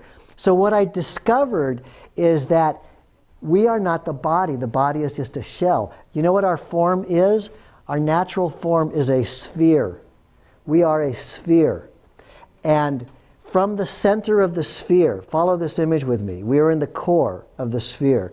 And from the center, we can look out 360 degrees in every direction. And in the distance, we see the transparent membrane, the edge of the sphere, the very edge, transparent membrane. So from the core, double helix of white light. One side is spinning out from the core to the periphery. At the same time, the other side is spiraling back from the periphery to the core. 360 degrees. Every direction. Every direction you, you take away north, south, east, west, up, down. You take it all away because we're at the center of this space, and that's our natural state. That's when the membrane becomes totally permeable. So, so over the last couple years, my perception and visualization and awareness of what I'm doing and how I'm doing it has continued to change and kind of unfold from the inside out. Part of this as, as in the self-help mode, you know, you've noticed I, you know, that I, I, I often start, you know, doing this, this motion. It's like, you know, I've never studied martial arts or Tai Chi or Qigong uh, in any form, but I, I have a form that you know I teach people. So let me show you. It looks it looks like this. Anyone who wants to try this to join me, um, you know, you can you can stand up and try this. You stand with your feet facing forward, a little wider than your shoulders. You sit just into yourself right here. You kind of take your feet and just flatten them on the ground. Elbows, shoulder to elbow, against your sides, counterclockwise. Start to make a spiral from the pelvis. I take the spiral here, the circle, and then I turn it into figure eight. Up, down, around, up, down, around, up, down, around. When you start to do this figure eight, when you start to do this figure eight infinity, you start to feel your fingers tingling. Start to feel your fingers tingling. This is the chi. This is the life force coming through. And then I have people hold the ball. Ha! Hold the ball. Ha! White light. Compress it, feel it, see it. And then overdrive the edge of the ball. See, I'm just over the edge, over the edge, over the edge. I keep going over the edge, over the edge, further until whew, I take the figure eight whew, into this plane. So now from horizontal, I've taken it vertical, right? I've taken it vertical. But now watch this. Right up here, I slow it down. And now I'm going to take it out of the vertical, out of the horizontal. I'm going to start to mix and match. Start to mix and match. And I'm not thinking about it. I'm just letting it happen. Letting it happen, letting it happen, letting it happen. Just kind of stretching it out, stretching it out more. And then what happens though, if you start to speed it up, it, you come into, into the spiral, into the double helix, because that's, that's what it's doing. And so when you look at Tai Chi or Qigong or other martial arts, what they do is they do this, and then they phase back, this, phase back, shift, phase back, shift, phase, phase, phase, phase. And you don't see whew, the spiral. You don't see the continuity because they don't show it to you. But in fact, everything they're doing is this. So, so I show. So what I tell people to get the simple form of this is this. It's a half. It's half circles, right? Half circle, half circle, top cup. You know, half circles. You know, that's just just take little half circles you know, and let them, let them go. Let them go. Don't think about them. Just let them, let them happen. Just let them start to happen in any direction. And you can do it slow or fast. You just kind of let it, let it happen. But the other thing I teach is what I call hard form. Get this. This is, this is fun and this is really simple. We are not the body. The body is just a shell.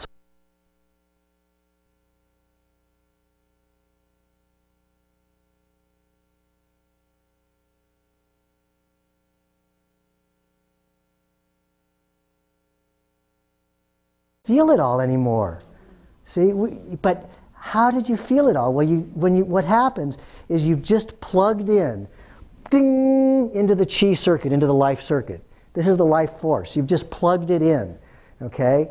And what's happened is we've stretched the fascia right under the skin. We've stretched the fascia. And because we've stretched the fascia, we now feel every part of it. So watch this. I take this same tension from here up to my elbow, up to my shoulder, and see what starts to happen to my body. To do it, I've got to pull the whole body. And now I'm going to take it down this line, out to my foot into the ground. To do it, I have to bring my foot up. It has to curl up. If I try to do it flat-footed, I can't, I can't make it come up. I've got to curl it up to bring it up. Now, there's a continuous stream of chi flowing through the earth, through my foot, through the leg, right out here and back and out and back. But now, I'm going to stretch it. Uh, uh,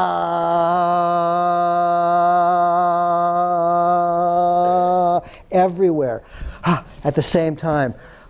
So it's around every muscle, ah, around the surface, under the skin. So now the same sensation that I could feel in one hand, Now I feel my entire body. I feel the bottoms of my feet to the top of my head. I feel my entire body.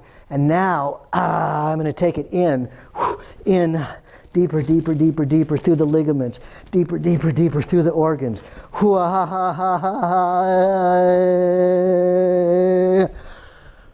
So, in martial arts, which I don't practice, never have, and don't know anything about it, but they talk about like iron fist. They talk, you see that, you know, they take a metal spear, they take the tip of the spear and, and push it against somebody's chest and bend it, and it doesn't penetrate.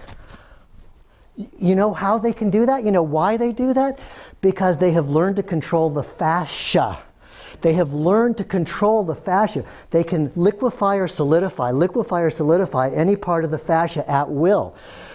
Interestingly, most of them can't explain that that's what they're doing or even how they do it.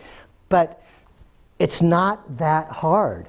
You know, what I believe I've created is a system that can be taught easily to people, um, you know, to learn some of these basic motions. If you can get this chi flowing regularly and, and ground yourself on the earth, drink lots of fresh water, and eat with your hands, and be grateful and convert it to liquid in your mouth, I believe you can probably cure 99% of everything on the planet. I really do. I mean, those things, if we would just do that, chew it, ground ourselves, figure out how to start to get this energy moving. So, the other piece of homework that I challenge all of you with is every day go outside barefoot, stand on the earth, and sing and dance. Sing and dance. You know, it doesn't have to be formal. It doesn't have to be this weird circle and eight and ball and that crap. Just, just sing and dance. Yeah, and you don't even have to take drugs. You just sing and dance.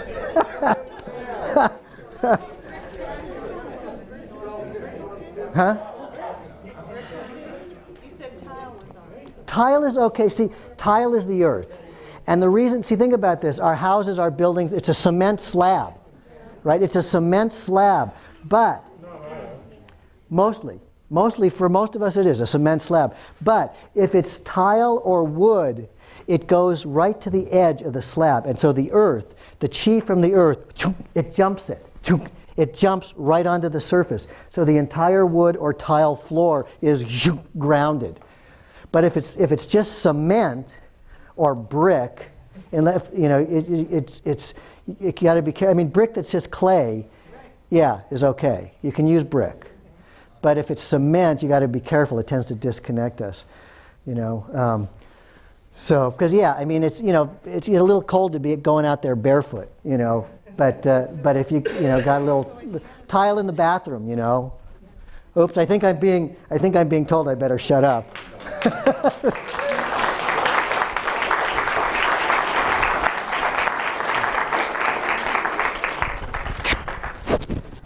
want to make one announcement. Next month is Steve Fouts talking on Alzheimer's and dementia. So you have to remember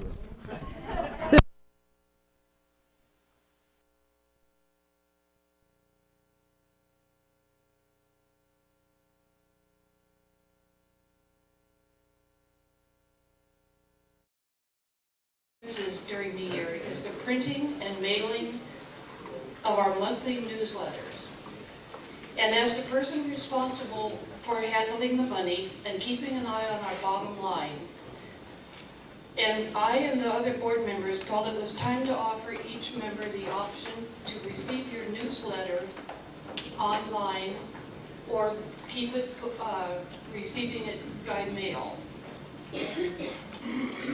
There are many obvious advantages to both of these options. Receiving it through email would help us save a good deal of money throughout the year. So we sincerely ask that you stop by the table over there and um, sign in with me, and I'll highlight your email address, and um, then we, you can start receiving it by email. Thank you. You can also email me at laureljc2 at yahoo.com. Thank you. All right. On, it completely destroyed the cable, even with the ringer off. The uh, next Suzanne from the uh, Continuing Education for Medical Professionals, Keeping Women Healthy. Actually, the rest of it is keeping women healthy in their reproductive years so you can think of your thoughts.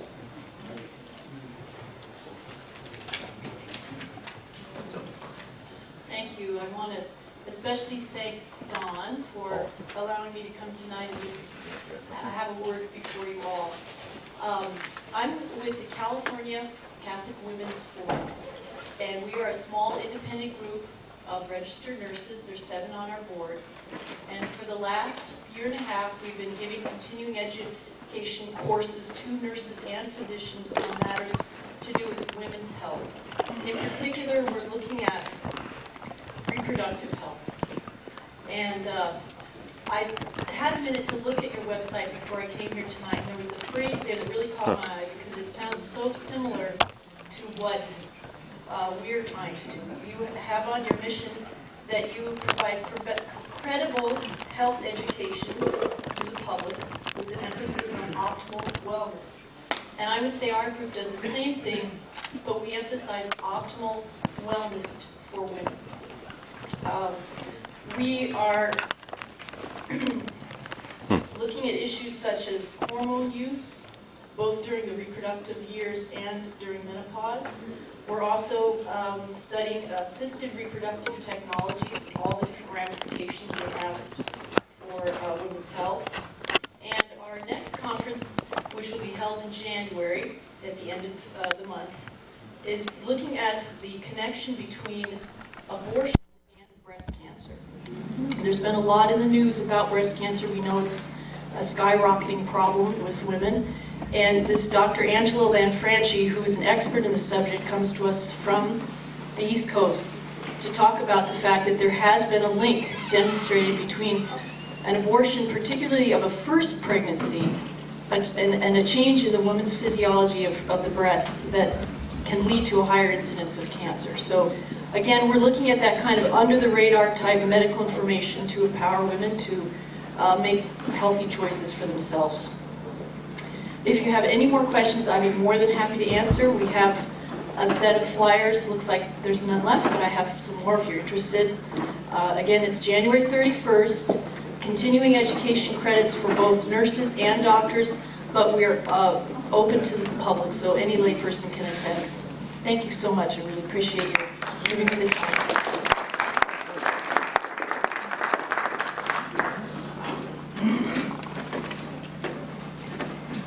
I was just speaking to Dave Asprey, who had amazing experience this, this month about uh, something to do with the brain. He'll be telling us about it now.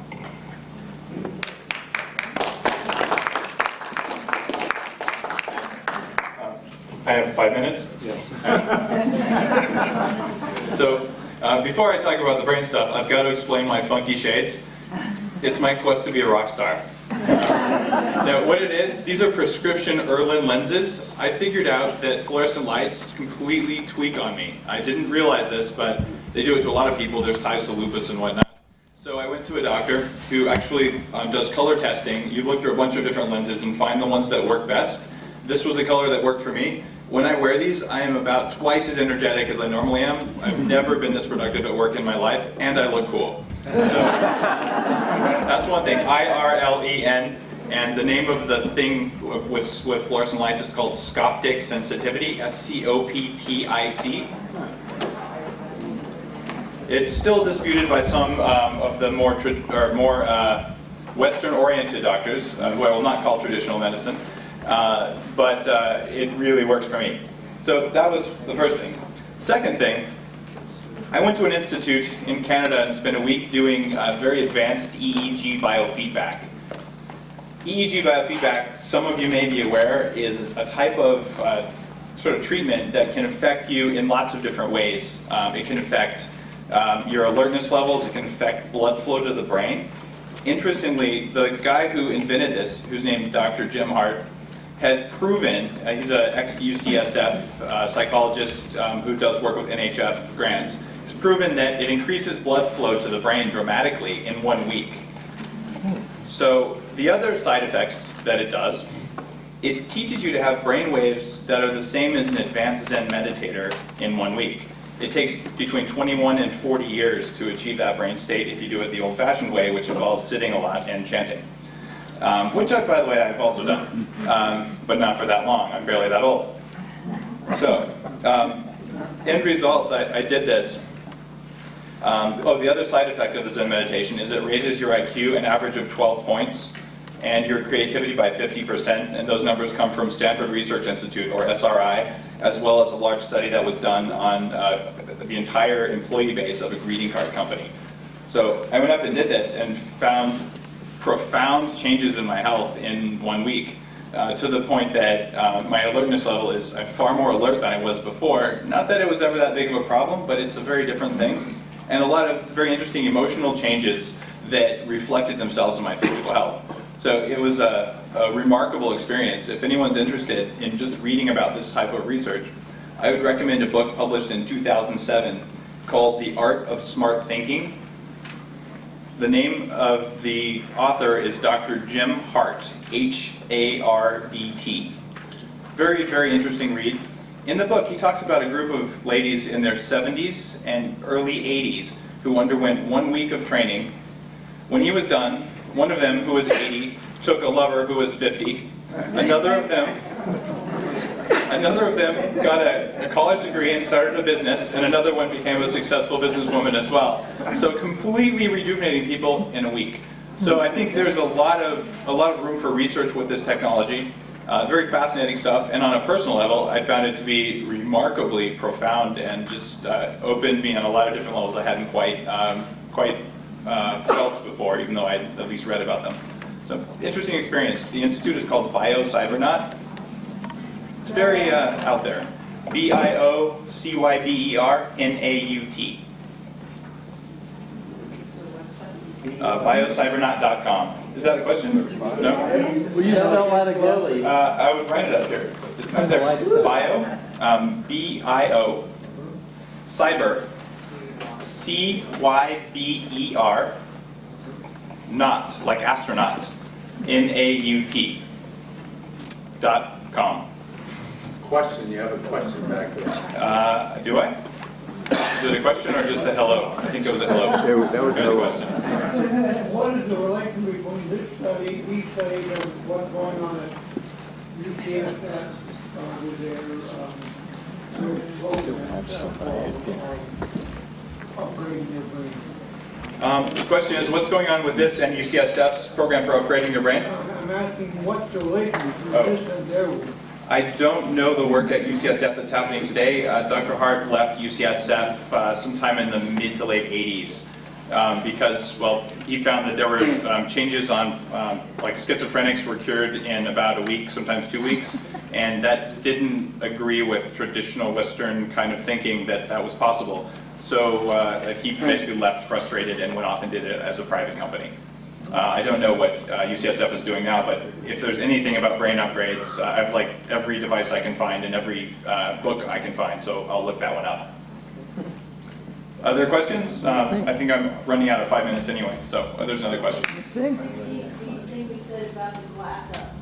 Irlen, I-R-L-E-N, is, uh, by the way, the question was, uh, what about those weird glasses you're wearing? Um, I-R-L-E-N is the name of the institute that figured this stuff out. It turns out it's also very effective for learning disabilities in kids. Um, there's also um, Scoptic, S-C-O-P-T-I-C, like scope with no E, and then TIC, T-I-C. Scoptic sensitivity is the name of that condition. Just a quick comment, I teach middle school, and uh, the students, I'm teaching remedial reading, a lot of learning disabilities and issues. They always want the lights out in the classroom, and there always are fluorescent lights in our classrooms. And I have a theory about that. They, they learn better when those lights are off. Um, the, the, the comment was that she's, she's discovered in middle school teaching that students learn better with the fluorescent lights off. I can tell you in where I work, about 10% of people unplug the fluorescent lights above their cubes, including me, and I have for years because I hate the things.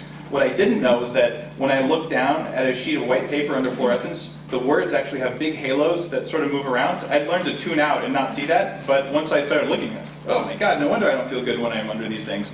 Uh, but with these things, I'm fine. So if, if that's a problem for you, feel, if you feel tired at Walmart, it's the lights, not the air. Yeah, I'd like to offer uh, Dave the, uh, when, because I used to write articles about light, fluorescent lights and different types of lighting and so forth. And uh, big changes started happening when they switched to the 32 watt high frequency electronic ballast, which took your 60 cycle flicker factor, I called it, meaning going on and off 120 times a second, where you'd see after images sometimes when you were tired, when you were writing across a piece of paper. And they found out the kids got tired, and they, then they switched to this high frequency, 20 to 50,000 cycles, invented by a Motorola engineer. Suddenly, it was as though you were under a skylight with a full spectrum light. That's where they have triphosphor coatings in them and so forth. So that has been shown to not be as uh, harmful as, as, of course, the old fluorescent lights. If they're fat tubes, get rid of them. That's what I tell people. Can you buy that at Lower State or What's the name of the doctor that you went to to get the color tested? Uh, the name of the doctor, I have already forgotten. Uh, he was in Walnut Creek. If you go to Irlen Institute uh, and you look on their website, he's the closest in the Bay Area. You, talking about? Uh, well, these the new fixtures basically just have new ballast, or you can retrofit. Uh, I did a whole artist studio once, retrofitted all the lights with it. Um, you just go to your uh, lighting supply store and ask for high frequency electronic ballast. Look in there and see what, whether you have a uh, uh, whi- which type of ballast it is, and then you'll get that version and the high frequency type. Th- There's also a filter you can buy called Thermolux um, that goes on top of the bulb that filters out one of the frequencies that's annoying. Uh, I haven't bought them yet, but I've talked to the CEO of the company and uh, it seems pretty credible. I'm going to try and get those installed at the public company where I work to see maybe in one floor whether we have you know better results on that floor than the other floors. It'll be my floor, of course.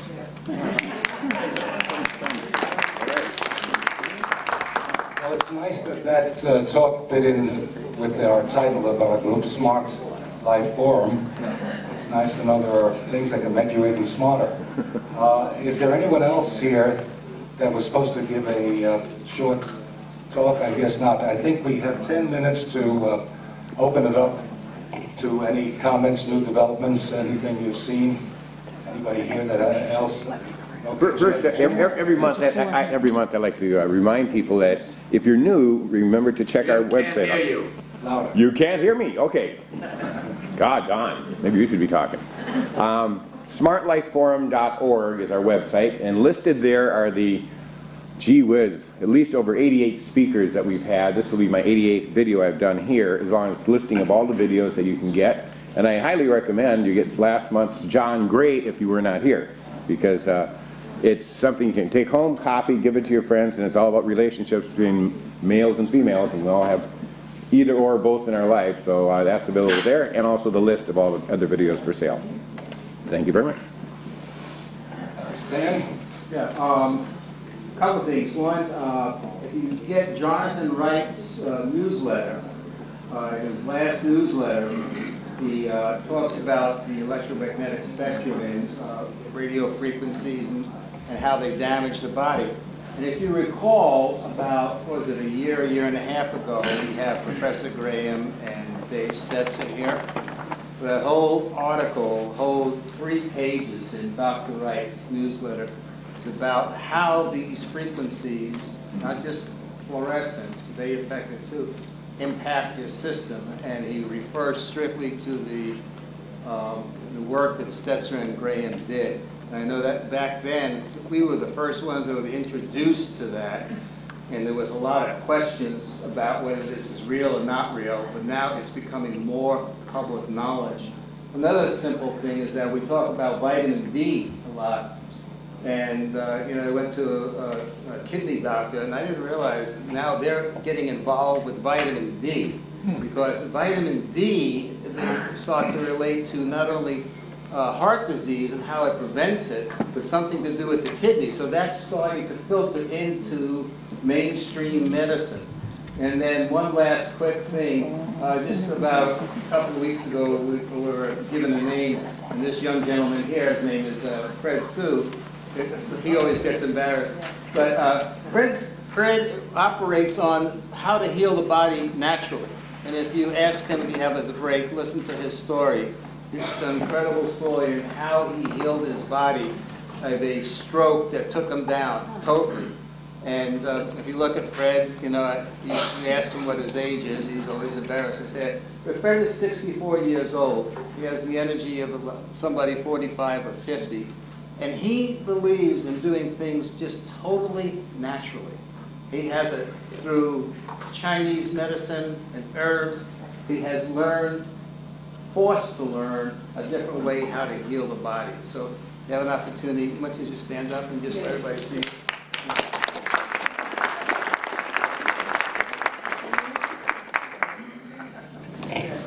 Uh, Ladies and gentlemen, uh, I'm, my name is Fred Su. Uh, I got a stroke uh, 10 years before. Uh, in that time, uh, my left side, the whole body is dead. Uh, but my wife saved my life uh, because in that time, I want to kill myself because I cannot go to the restroom. I cannot